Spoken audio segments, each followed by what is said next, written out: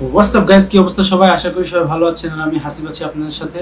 JS স্পাইকার পক্ষ থেকে আপনাদেরকে অনেক অনেক ধন্যবাদ। সো দেখছেন নতুন একটা চেহারের লুক আজকে কাটিং শাটিং দিচ্ছি চুল ওকে যাই হোক, এসব বাদ দিই কাজের কথায় আসি। সেটা হচ্ছে একটা ডার্ক ব্যাকগ্রাউন্ড আছে পিছনে। তো আপনাদেরকে আজকে শেয়ার করব একটা ভৌতিক ঘটনা আমার সাথে ঘটে যাওয়া। সো এটা অনেক আগের একটা ঘটনা, দুই হাজার সতেরো সালের দিকে ঘটে যাওয়া একটা ঘটনা। ঘটনাটা ছিল আমরা সাজেক ট্যুর করতে যাওয়ার পরে চিটাগাং হাইওয়েতে এই ঘটনাটা ঘটে। সো বেসিক্যালি আমি শুরু থেকে বলি, আমরা যশোর থেকে সাতটা বাইক গিয়েছিলাম সাজেক ভ্যালিতে এটা ছিল অ্যারাউন্ড সাতাশ ডিসেম্বর। হ্যাঁ প্রচণ্ড ঠান্ডা। সেই মুহূর্তে আমরা যশোর থেকে রাত বারোটার সময় যশোর থেকে রওনা দিই। দিয়ে পরের দিন সারাদিন রাইড করে, পরের দিন ডাইরেক্ট সাজেক যে আমরা পৌঁছাই। সো এটা ছিল অনেক কষ্টের একটা ট্যুর অনেক আগে প্রথম দিকে আমার লাইফের তো সেই সময় এত জার্নি আমার পক্ষে অনেক কষ্টকর ছিল। তারপরে চলে গেছিলাম, খুব ভালোভাবে এফসের গাড়ি ছিল আমার। তো সেটা নিয়ে গেলাম সাজেক ভ্যালি। যাওয়ার পরে, সাজেক ভ্যালি থেকে আসার পরে, আসার ঘটনা, ভৌতিক ঘটনা হয়েছে চিটাগাং হাইওয়েতে কুমিল্লার পরে। সো এটা সাজেক থেকে আসার পরে আসার ব্যাক করার দিন ঘটনা। ঘটনা ছিল এরকম যে আমরা সাজেক থেকে, সবাই জানেন যারা বাইক নিয়ে যায় বা যারাই সাজেক ভ্যালি গেছেন তারা সবাই জানেন যে সাজেক ভ্যালি দুইটা টাইমে ঢোকা যায় এবং বের হওয়া যায়। সেটা হচ্ছে একটা সকাল দশটার স্কট আর একটা হচ্ছে তিনটার স্কট তো আমরা প্রথম দিন থাকলাম সাজেক ভ্যালি, দ্বিতীয় দিন থাকলাম। দুই দিন থাকার পরে আমরা যখন ব্যাক করতেছি ওই দিন সকাল দশটার স্কটে আমরা ব্যাক করছি সাজেক ভ্যালি থেকে। এখন আমাদের সাথে সাতটা বাইক বাইকে ছিল সব বাইকে প্লেয়ন ছিল, আমার বাইক আর একটা বাইকে প্লেয়ন ছিল না। আমি সিঙ্গেল ছিলাম। তো শীতের সময় ওই দিন হচ্ছে উনত্রিশ ডিসেম্বর থার্টি ফার্স্ট নাইটের দুই দিন আগে। হ্যাঁ থার্টি ফার্স্ট নাইটের দুই দিন আগের ঘটনা। উনত্রিশ ডিসেম্বর আমরা ব্যাক করতেছি সাজেক থেকে। সকাল দশটার স্কটে আমরা সবাই বের হলাম। আমরা সাজেক থেকে বের হয়ে মাঝখানে একটা জায়গায় বিরতি দেয়। ওখানে আসলাম। এসে আমরা খাগড়াছড়ি যখন এসে পৌঁছেছি, তখন বাজে একটা বাজে। তখন একটা বাজে দুপুর হয়ে গেছে, আজান দিছে। এখন আসার সময় একটা ঘটনা ঘটছে, সেটা হচ্ছে যে সাজেক থেকে পাহাড়ি রাস্তায় সারাদিন রাইড করে আমার পায়ে হাঁটুতে আমার সেফটি গার্ড পরা ছিল। গার্ডের কারণে পার ভিতরে আহ, প্রচণ্ড ব্যথা শুরু করছে। আমার একটা পায়ে হাঁটু মালায় প্রচণ্ড ব্যথা শুরু করছে। এত পরিমাণ ব্যথা যে আমি আর বাইক রাইড করে মানে ঝাঁকি লাগলে ব্যথা লাগতেছে। তখন ভাবলাম যে আমার যারা ছিল আমার সাথে বললাম যে ভাই আমি তো এভাবে বাইক রাইড করতে পারতেছি না। আমার একটা ওষুধ টষুধ খাওয়ার দরকার। তখন বলল ঠিক আছে তাহলে বাজার। তখন আমরা খাগড়াছড়ি থেকে বারোরহাট আসার মাঝামাঝি একটা বাজার আছে এটার নাম হচ্ছে লং গদু বাজার। আপনারা যারা গেছেন ওই সাইডে তারা জানেন। ওর পরে রাবার বাগান আছে ওই বাজারের পাশ দিয়েই। তো লংগদু বাজারে যাই। ওখান থেকে একটা দোকান থেকে আমি বলি যে, ভাই, আমাকে একটা ওষুধ দেন, যাতে আমার পায়ে ব্যথা না থাকে। কারণ আমাদের ওইখান থেকে ড্রাইভ করে সরাসরি কোনো জায়গায় ব্রেক না ডাইরেক্ট আমরা যশোর আসার চিন্তা ভাবনা করতেছি। প্রায় সাড়ে চারশো কিলোমিটার মতো রাইড হবে, চারশো আশি কিলোমিটার প্রায় সো উনি আমাকে একটা অ্যান্টিবায়োটিক ডোজ দিল। এক ওষুধে আমার মুহূর্তের ভিতরে পায়ে ব্যথা নাই বাট জ্বর চলে আসছে। প্রচণ্ড জ্বর। এবার খাগড়াছড়িতে আসার বারোরহাটে খাগড়াছড়ি থেকে বারোরহাট আসার পথে দেখবেন মাঝখানে অনেক টি এস্টেট পড়ে, চা বাগান পড়ে। ওখানে সবাই দাঁড়াল, ছবি তুললো, বিভিন্ন রকম ভাবে ঘোরাঘুরি হতে হতে আমরা বারোরহাটে এসে পৌঁছালাম একদম সন্ধ্যার সময়। তখন অন্ধকার হয়ে গেছে। সন্ধ্যার সময় বারোরহাটে এসে পৌঁছানোর পরে আমরা সবাই হোটেলে খাওয়া দাওয়া করলাম। খাওয়া দাওয়া করলাম, করার পরে আসলে অনেকগুলা মানুষ সাতটা বাইকে প্রায় প্রায় চোদ্দ জন, বারো জন মতো, বারো জন মানুষের সবকিছু জামা কাপড় খুলে, ব্যাগ দেখে ফ্রেশ হয়ে খাওয়া দাওয়া করতে করতে প্রায় সাড়ে সাতটা কি আটটা বেজে গেছে। এবার ওই সময় রাত হয়ে গেছে প্রচণ্ড কুয়াশা পড়তেছে। মাস্ক শীতের সময় আপনাদের জানা থাকতে পারে যে শীতের সময় আমাদের মাঝে মাঝে আমরা যখন শীতকাল পড়ে তখন হুট করে দু একদিন খুব কুয়াশা পড়ে। তা ওই টাইমে কিছুদিন আগে শীতেও এখন কুয়াশা পড়ল। যে কুয়াশা এক হাত দেখা যায় না প্রচণ্ড কুয়াশা থাকে। সবথেকে বেশি বছরের বেশি কুয়াশা কুয়াশা আচ্ছান্ন দিন বলে যেটা তো ওই টাইমে ওই দিন ছিল সেই দিনটা, কুয়াশা প্রচণ্ড কুয়াশা ছিল। এক হাত দেখা যাচ্ছে না। সো সেই কুয়াশার ভিতরে আমরা দেখতেছি সন্ধ্যার সময় কুয়াশা অলরেডি পড়ে গেছে। তখন আমার সাথে যে ভাইরা ছিল তাদের আমি বললাম, ভাই, কি করা যায়? আমার তো গায়ে জ্বর। তা বলল হাসি তুমি কি রাইড করতে পারবা? আমি বললাম, জি ভাই, আমি পারব, সমস্যা নাই। কারণ যাওয়ার পথে আমার গাড়ি ফ্রেন্ডকে দিয়েছিলাম, ও আবার নিয়ে ফেলাই দিয়েছিল। এই কারণে আমি আর কারোর কাছে গাড়ি দিতেও ভয় পাচ্ছিলাম তো যাই হোক, আমরা বারোর হাট থেকে, খেয়াল করেন বারোর হাট থেকে আমরা ড্রাইভ করে ঢাকার উদ্দেশ্যে রওনা হচ্ছে। মাওয়া দিয়ে আসব বাসায়। সো বারোহাট থেকে আমরা আটটার সময় রওনা দিছি। দেওয়ার পরে কিছু দূর ফেনী পর্যন্ত গেছি, তখন প্রচণ্ড কুয়াশা হয়ে গেছে। আর আমাদের প্লিয়নে কেউ কেউ পিছনে অনেক দূরে পড়ে যাচ্ছে, কেউ সামনে চলে যাচ্ছে। তখন আমরা একটা সিস্টেম করলাম যে আমি আমি সামনে থাকব, আমি লিড করব আর পিছনে একজন থাকবে, সে সবাইকে ই করবে? এখন বাট কিছু দূর চালানোর পর পরই দেখতেছি পিছনে কেউ নাই। মানে ওরা- অনেক ডিস্টেন্স হয়ে যাচ্ছে গ্যাপ হয়ে যাচ্ছে। কেউ কুয়াশার কারণে সবাই চালাতে পারতেছে না। কেউ কেউ চশমা পরে আছে, কুয়াশ, ভাইজার খুলে দিচ্ছে ভাইজার পুরো হেলমেটের ভাইজার কুয়াশায় ঢেকে গেছে দেখতে পাচ্ছে না। এবার ভাইজার উঠাই দিছে, শীতের মুখে প্রচণ্ড ঠান্ডা লাগতেছে। সো এই জন্য স্লো রাইড করতেছে। কারও কারও চশমা পরা মানে যারা চোখের সমস্যা সেই তারা চশমা পড়েছিল চশমায় নিশির পরে চশমা দিয়েও কিছু দেখতে পারতেছে না। তো এক প্রকার বলা যায়, সব আস্তে আস্তে গাড়ি টানতেছে। এইভাবে করতে করতে আমরা কুমিল্লা এসে পৌঁছালাম, তখন বাজে রাত সাড়ে এগারোটা। ফেনী বারোহাট থেকে কুমিল্লা আসতে যে এত সময় নষ্ট করে ফেললাম, প্রায় দুই আড়াই ঘণ্টা মতো নষ্ট হয়ে গেল। যেহেতু একসাথে, এর মধ্যে আবার মাঝখানে দু একটা চার দোকানে আমরা দাঁড়াইছিলাম। ওখানে চাটা খাইছিলাম ফ্রেশ হয়েছিলাম। তো আমার গায়ে তো জ্বর তখন, হালকা হালকা জ্বর। আমি আবার মাঝখানে রাস্তা থেকে বারোহাট থেকে আমি আবার জ্বরের ওষুধও খাইছিলাম। যাই হোক, এখন কুমিল্লা এসে পৌঁছাইছি তখন রাত বাজে প্রায় সাড়ে বারোটা কি বারোটা বারোটা প্লাস ঠিক খেয়াল আসছে না? প্রায় বারোটা প্লাস হ্যাঁ। বারোটা প্লাস তখন আমরা ওখানে সবাই বলল যে, দেখো, আমরা তো যশোর যাব, কোথাও স্টপ স্টপেজ দিব না। তো আমাদের রাত্রের খাবারটা খেয়ে নিয়ে একবারে। আর কোথায় খাব? সারা ড্রাইভ করতে হবে? তো আমি বললাম ওকে নো প্রবলেম তাহলে খাই। তো আমি তো জ্বরে কিছু খাইতে পারিনি, আমি সামান্য পানি পুনি খাইছি জুস টুস খাইছি। আর ওরা সবাই নেমে কুমিল্লা সন্ধু হোটেলে সন্ধুর হোটেলে দাঁড়াইছিলাম। সন্ধুর হোটেল থেকে খাওয়া দাওয়া সবাই করলাম, করে খাওয়া দাওয়া করে গুছাইতে গুছাইতে অ্যারাউন্ড আপনার কয়টা বাজে? বলা যায় প্রায় একটা প্লাস বেজে গেছে, একটা দেড়টা বেজে গেছে, হুম, দেড়টা বেজে গেছে। এবার আবার সেই প্ল্যান মাফিক, আমি সামনে থাকব, পিছনে সবাই থাকবে। তো আমি সবাইকে বললাম, দেখেন কুমিল্লার থেকে দাউদকান্দি ব্রিজ পর্যন্ত রাস্তাটা শোনা যায় যে অনেক ঝামেলা, চিন্তায় হয়, বিভিন্ন রকম ঝামেলা হয়। আমি বললাম যে, ভাই, আমরা একসাথে থাকার চেষ্টা করি। বলছে, ওকে, সমস্যা নেই আছে যদি একসাথে থাকি। তাই আমি বললাম, ঠিক আছে ভাই, একসাথে থাকি যাতে কেউ আটপিস না হয়। বলছে, তাহলে তুমি ষোলো টানো। আমি বললাম, ওকে। এখন গাড়ি স্টার্ট দেওয়ার পরে, কিছুক্ষণ চালানোর পরে দেখলাম আমার পাশ দিয়ে আমাকে আমাকে দিছিল ফার্স্টে মানে আমি ফার্স্টে ছিলাম, আমাকে ওভারটেক করে আর দুইটা টান দিয়ে চলে গেল। তখন এবার দেখলাম টানাটানি হচ্ছে। সো কেউ আগে যাচ্ছে, কেউ পিছনে আসছে, কেউ আগে যাচ্ছে। তা আমি ভাবলাম তাহলে আমি একটু সামনে যে ওদেরকে বলি যে, এইভাবে না যে আমরা একসাথে রিল্যাক্সে যাই।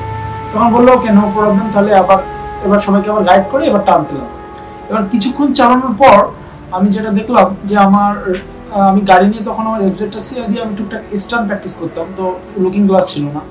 সো আমি পিছনে তাকায় দেখলাম যে কোনো গাড়ি নেই। অলমোস্ট আমরা কুমিল্লা থেকে পনেরো বা হ্যাঁ দশ কিলো মতো পরে। তখন আমি রাস্তার পাশে দাঁড়ালাম একটা জায়গায়। দুই পাশে পুরো ফাঁকা, চিটাগাং হাইওয়েতে সাঁই সাঁই করে গাড়ি যাচ্ছে। তখন আমি ঘরে ফোন পকেটে বের করে গান চেঞ্জ করতেছি। পিছনে তাকায় দেখি আমাদের বাইকগুলো নাই। বোঝা যাচ্ছে না, মনে হচ্ছে অনেক দূরে কোনো গাড়ি। দু একটা পরিবহন চলে গেল সাঁই সাঁই করে। তো আমি যখন দাঁড়াইছি রোডের পাশে, রাস্তার এই পাশে যেহেতু আমরা বাম পাশ দিয়ে যাচ্ছি, যাওয়ার পথে। তো দাঁড়ানোর পর আমার বাইকের হ্যান্ডেলটা ঘুরে এই পাশ থেকে এই দিকে করে ঘুরে রাখছি। তখন এই লেন থেকে আলোটা রাস্তার ওই লেনে যে পড়েছে অপোজিট লেনে। আমি এক- একবার একবার দেখলাম যে একটা মানে বুড়ি টাইপের, একটা ছোটখাটো বুড়ি টাইপের একটা মহিলার মতো মানুষ, সে রাস্তার ওই পাশ থেকে হেঁটে হেঁটে যাচ্ছে। ওই টাইমে আমি এত ঠান্ডা পড়েছে, ওই টাইমে আমি ভাইজার মুছতেছি হাত দিয়ে গ্লোভস পরা হাত দিয়ে ভাইজার মুছতেছি আর ফোন ফোনে গান চেঞ্জ করতেছিলাম। আর ওনাকে দেখে আমার কেন জানি মনে হলো যে, আসলে আমরা বাংলাদেশে থাকি, আমাদের আমরা কতটা অসহায় যে হয়তো আমি- আমি এমন ভাবে চিন্তা করেছি তাকে দেখে, তখন আমি ভয়টা কিছু পাইনি। জাস্ট তাকে দেখে ভাবলাম যে হয়তো বা সারাদিন ভিক্ষুক, ভিক্ষা করছে এখন ভিক্ষা করে এখন হয়তো বা বাসা যাচ্ছে এই রাত্রিবেলা। তখন আমি ওই চিন্তা করে আমি দেখলাম যে এখন কয়টা বাজে? উনি কয়টার সময় বাসা যাচ্ছে? তখন আমি দেখলাম আমাদের দুইটা বিশ ত্রিশ বাজে ঘড়ির কাটায়। তখন দুইটা বিশ কি আরও বেশি? দুইটা প্লাস তখন আমি চিন্তা করলাম যে এত রাত্রে বাসায় যাচ্ছে? আরে, কি একটা মানে কি একটা পরিস্থিতি? সারাদিন হয়তো অপেক্ষা করে বাসা যাচ্ছে, কেউ নাই হয়তো দেখাশোনা। তো এই চিন্তা করার পর আমি আর ওনার দিকে খেয়াল করিনি, আমি পিছন দিকে তাকায় আমাদের গাড়িগুলো দেখতেছি। তখন দেখলাম দূরের থেকে ছোট ছোট লাইট দেখা যাচ্ছে, সব সিরিয়ালি আসতেছে। তখন আমি ওনাদের, ওদের হাত দেখাই বললাম যে টান দাও টান দাও, তোমরা টান দাও। তো ওরা সাই সাই করে সব গাড়ি কটা বেরোয় গেল। তখন আমি ভাবতেছি যে, ওরা বেরোয় চলে গেছে, এবার আমি আবার স্টার্ট করে টান দিই যখনই আমি গাড়ি স্টার্ট দিতে গেছি, তখন দেখি আর গাড়িতে স্টার্ট নিচ্ছে না। তখন আমার কেমন যেন ভয় হচ্ছে নিজের ভিতরে, যে আমি একা পড়ে গেলাম বিকজ আমি পিছনে পড়ে গেছি, সবাই আমাকে থুয়ে চলে গেছে। এখন আমি চিন্তা করতেছি যে তাহলে এবার ওরা তো আমার থেকে চলে গেল, আমি তো একা হয়ে গেলাম। এখন আমি চিন্তা করতেছি যে কোনো ডাকাতি চিন্তায় না হয়। কারণ আমি একা পড়ে গেছি।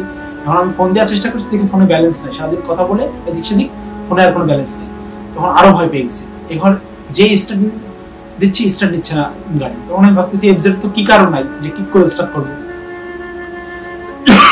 সরি তো চিন্তা করতেছি যে এখন কি করা যায়? তখন আমি ইউটিউবে একটা ভিডিও দেখছিলাম যে এফজেড বাইক যদি আমরা কোথাও এফজেড ভার্সন টু ছিল এফজেড বাইক যদি কোথাও স্টার্ট বন্ধ হয়ে যায়, তখন কীভাবে স্টার্ট করা যায়?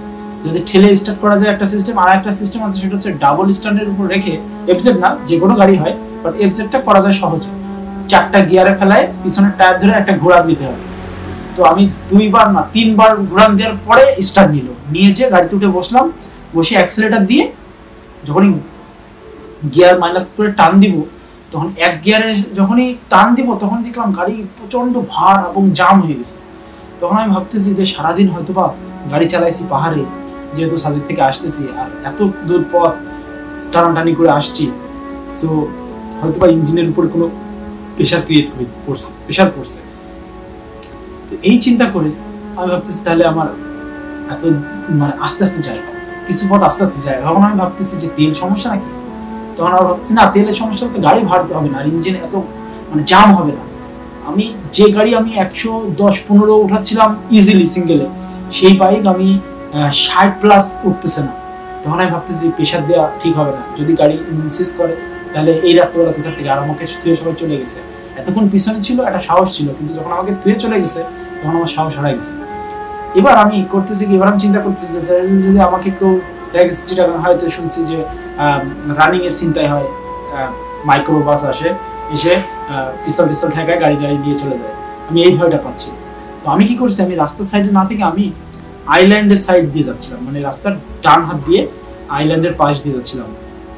দুই রাস্তার আইল্যান্ডের পাশ দিয়ে যাচ্ছি। যাইতে যাইতে যাইতে যাইতে যেটা হয়েছে যে রাস্তা হুট করে দুই ভাগ হয়ে গেছে। দুইটা দুই দিক চলে গেছে। তো মনে মনে মনে হলো প্রায় পাঁচ সাত কিলো চালানোর পর, আমার গাড়ি তেল না থাকলে যেমন গাড়ি ধাক্কা দেয়, ধাপ করে ধাক্কা দিল। দেওয়ার পরে, ও, তার আগে একটা কথা, সেটা হচ্ছে কিছু কিছু পরিবহন আমার পাশ থেকে উঠতেছে আর দেখি ড্রাইভার, যেহেতু আমি রাস্তা ডান হাতে আছি, ড্রাইভার আমার ড্রাইভার দেখলাম মাথা বের করে আমাকে দেখতেছে। পাশাপাশি সুপারভাইজারও মনে হলো মাথা বের করে আমাকে দেখতেছে, যে তখন আমি ভাবলাম যে হয়তো আস্তে আস্তে চালা যাচ্ছে, এই কারণে দেখতেছে এই পাশ থেকে যাচ্ছি। আমি ওগুলো মাথায় নিইনি। এবং পাশের কিলো যাওয়ার পরে দেখলাম ঘেট ঘেট করে ইঞ্জিন ধাক্কা দিল কয়বার, দেওয়ার পরে গাড়িটা একদম ফ্রি হয়ে গেল। ফ্রি হয়ে গেল তখন আমি ভাবলাম, আমি একটা শান্তি স্বস্তি পেলাম যে হয়তো বা কোনো তেল মিল বা কোনো কিছুতে ঝামেলা ছিল, বিধায় তখন জাম করতেছিল। এবার দেখলাম অ্যাক্সিলেটারও ফ্রি হয়ে গেল গাড়ি টান দিচ্ছি করে গাড়ি যাচ্ছে, যেহেতু সিঙ্গেল গাড়ি উড়ে যাচ্ছে অনেকটা। তো আমি খানিকক্ষণ টানলাম, অনেকক্ষণ চালানোর পর আমি খুঁজতেছি আমাদের ভাই ব্রাদার কই। তো অনেকক্ষণ টানার পরে দেখলাম যে অনেক গাড়ি দেখা যাচ্ছে মানে জ্যাম পড়ে গেছে। এটা হচ্ছে দাউদকান্দি ব্রিজে জ্যাম পড়ছে টোলে প্রচণ্ড জ্যাম সো জ্যাম কাটায়, টাটায় কাটায়, টাটায় উঠে এক জায়গায় দাঁড়ালাম। দাঁড়ানোর পরে দেখলাম আর যাওয়ার সামনে জায়গা নেই, রাস্তায় ক্রস ট্রস হয়ে গেছে। আর আমাদের ভাই ব্রাদাররা খুঁজে পাচ্ছি না আমি, ওরা কোন পাশে রয়েছে, আল্লাহ জানে। তো আমি দাঁড়াই জাস্ট একটু রিল্যাক্সে ভাবতেছি যে, যাক, মানুষের ভিতরে চলে আসছে, আর কোনো সমস্যা নেই। এখন আমি যেখানে দাঁড়াইছি, তার পাশে একটা বাস দাঁড়া ছিল, পরিবহন। সে পরিবহন থেকে পরিবহনের ড্রাইভার মাথা বের করে বলছে, কি মামা, কোথায় গেছিলেন? আমি বললাম যে, গেছিলাম সাজেক ভ্যালি। তো বলছে যে, ও, সাজেক। আচ্ছা আচ্ছা এটা তো কখন কখন গেছিলেন? তাই বললাম যে, এখন আমি ব্যাক করে বাসায় যাচ্ছি। তো বলছে, ও আচ্ছা। কোথায় বাসা? তাই বললাম যে, আমাদের বাসা যশোর। তো বলছে, যশোর থেকে সাজেক গেছিলেন আমি হ্যাঁ। মোটর সাইকেলে তাই বললাম হ্যাঁ কোনো ব্যাপার। তো বলছে, পারেনও আপনারা। বলছি, আরে, মামা, কোনো বিষয় না। আপনারা যেমন পরিবহন চালান, সারাদিন রাত কোনো বিষয় না। তো আমার কাছে এটা কোনো ব্যাপার মনে হয় না। তো বলছে, না, আসলে মোটরসাইকেলে তো অনেক রিক্স তা ঠিক আছে, তো আমি বললাম যে, আমি তো একা না, আমার সাথে আরও বাইক আছে। তো বলছে আচ্ছা। বলে হুট করে উনি বলতেছে যে, তা আপনার পিছনের লোক কই? তখন আমি বললাম, পিছনে মানে আমি তো সিঙ্গেল তো বলছে, না, পিছনে দেখলাম একটা বুড়ি বসেছিল। যখনই বলল যে, পিছনে বুড়ি বসেছিল, তখন আমার মানে এমনি তো গায়ে অসুস্থ, জ্বর। তখন আমি বললাম যে, কি বলেন আপনি? বলছে হ্যাঁ দেখলাম একটা সাদা শাড়ি পরা ছোট্ট একটা বুড়ি মানুষের মতো কেউ আপনার পিছনে বসে আছে। তখন আমার আর জানে বানি নাই। আমি তো তখন আরও ভয় পেয়ে গেছি। তখন আমি কানেক্ট করতেছি যে আমি রাস্তায় যে বুড়ি দেখলাম, এক জায়গায় দাঁড়ালাম, ওইখান থেকে কি বুড়ি উঠে পড়ল আমার? এবার আমার বিভিন্ন রকম মাথায় আর কি বিভিন্ন টাইপের ঘোর আসতেছে যে আমরা বলতে ভেবে কিছু কিছু সময় বিভিন্ন ঘটনা শুনি। আমি ওইগুলো সব কানেক্ট করতেছি যে রাস্তায় লিফট নেয়, তারপর পিছনে থাকে। ভাগ্য ভালো যে যদি আমি ওনাকে দেখি, আমি কোনো বুড়ি টুড়ি, আমি পিছনে ছিল কিনা আমি দেখিনি বিকজ আমার মানে লুকিং গ্লাস ছিল না ব্যাক মিরর ছিল না। হয়তো বা যদি থাকতো, আমি যদি কিছু দেখতাম, হয়তোবা আমি গাড়ি অ্যাক্সিডেন্ট করতাম, ওইটা দেখে ঘাবড়ে যেতাম সো এটা কুমিল্লার পরের ঘটনা। কুমিল্লা থেকে দাউদকান্দির মাঝামাঝি একটা জায়গার ঘটনা। কোন জায়গায় এক্সাক্ট আমার খেয়াল নাই। পাঁচ সাত কিলো কুমিল্লা থেকে কিলোমিটার ক্যান্টনমেন্ট পার হয়ে পাঁচ সাত কিলো পরে। সো এই ছিল আর কি ব্যাপার। আর সেই রাত তারপর আমরা জাম কাটায় দেখলাম যে সব দাউদকান্দি জ্যামে সব দাঁড়ায় রয়েছে বন্ধু, আমার ভাই ব্রাদাররা। তো ওদের সাথে নিলাম, ওদের বললাম, না, আমার জ্বর আরও বেড়ে গেছে, পরে আমি আর গাড়ি চালাইনি আমি গাড়ি আরেকজনকে দিচ্ছি দিয়ে আমি পিলিয়ন হয়েছিলাম। হওয়ার পরে সেই বিভৎস রাত মানে বলার মতো না, যে কি ট্যুর কি ভয়ানক ট্যুর ছিল সেটা, ওই রাত যেন আর কোনোদিন না আসে। সো আমরা মাওয়া পার হলাম রাত তখন বাজে সাড়ে তিনটা। মাওয়া পার হয়ে এক হাত দেখা যাচ্ছে না মানে কুয়াশায়। সো আমি কাউকে বলিনি, কারণ কেউ যদি ভয় পায়। পরে আমি আস্তে আস্তে সবাইকে বলছি যে, এই হয়েছে আমার সাথে। সো এই ছিল আমার সাথে একটা ঘটনা। মাওয়া পার হয়ে যশ- যশোর আমরা আসছি পরের দিন সকাল দশটা। তার মানে সাজেক থেকে বেরোয়েছি সকাল দশটায়। সারা দিন রাত চব্বিশ ঘণ্টা গাড়ি চালাইছি, জ্বর নিয়ে। পরের দিন সকাল দশটা পর্যন্ত। একটা বিভৎস ট্যুর ছিল। সে যে কি ঠান্ডা, ডিসেম্বরের শেষের ঠান্ডা তো আপনারা জানেনই। সারা রাত। এমনকি জ্যাকেট ভিজে গেছে কুয়াশায়। এত ঠান্ডা ছিল। এমনও দেখছি যে এক হাত সামনে যাওয়ার জায়গা নেয় ঘুমায় পড়ে গেছে আমাদের প্লিয়ন আর মানে ফার্স্ট ট্যুর ছিল এক বড় ভাই, সে চালাতে চালাতে রাস্তায় শুনলাম বিকট সাউন্ড দিন করে উঠছে। হঠাৎ করে টাকা দেখি যে পিছনে পড়ে গেছে। তাড়াতাড়ি যেতে দেখলাম অজ্ঞান হয়ে গেছে সেন্সলেস হয়ে গেছে। গাড়ি চালাতে চালাতে ঘুমায় পড়ে গেছে। হাত টাত কেটে একাকার অবস্থা, তাদের তুললাম এরপরে কিছু দূর যাওয়ার পরে দেখলাম যে আত্মচিৎকার, চারিদিকে আত্মচিৎকার। কিসের? তখন দেখলাম যে পদ্মায় তখন মাওয়ার প্ল্যান মানে ব্রিজের স্প্যাম বসাচ্ছিল। গর্ত খোঁড়া, পরিবহন ওই গর্তের ভিতরে নামাই দিছে। ওই স্প্যামের ওই জায়গার ভিতরে। সবাই লাফায় লাফায় পড়তেছে, চিল্লা পাল্লা, আহাজারি। সেই রাজ্যে কি দুর্বিষহ রাত ছিল বলার মতো না। এই ছিল আর কি ভৌতিক ঘটনা মানে আমার সাথে ঘটে যাওয়া। আমি দেখিনি কিন্তু বাট যে দেখছে সে তো মিথ্যে কথা বলেনি হয়তো বা হইতে পারে সেই লিফট নেওয়ার জন্য আমরা অনেক সময় শুনি। তো এটা ছিল আর কি আমার চিটাগাং হাইওয়েতে আমার সাথে ঘটে যাওয়া এক্সপিরিয়েন্স আরও কিছু ঘটনা আছে। ভৌতিক এবং বিভিন্ন চিন্তার ঘটনা। সো আশা করি পরবর্তীতে আপনাদের সাথে শেয়ার করব। কারণ ট্যুর করতে গেলে অনেক রকম অনেক পরিস্থিতির শিকার হই। এগুলো সাধারণত সবার সামনে বলা হয় না। টুকটাক নিজেরা নিজেরা শেয়ার করা হয়। তা আমাদের সবাইকে বলা হয় না। সো আজকে সবাই উদ্দেশ্যে আমি শেয়ার করলাম ঘটনাটা। সো ভালো থাকবেন সবাই। আর ভালো লাগলে লাইক অবশ্যই দিবেন। আর হাতটা ভেঙে গেছিল আপনারা সবাই জানেন। তো সেই কারণে অনেক দিন অনেক ব্লগ দিতে পারিনি। তাই জন্য আজকে গল্প শেয়ার করলাম। হাতটা খুলছি।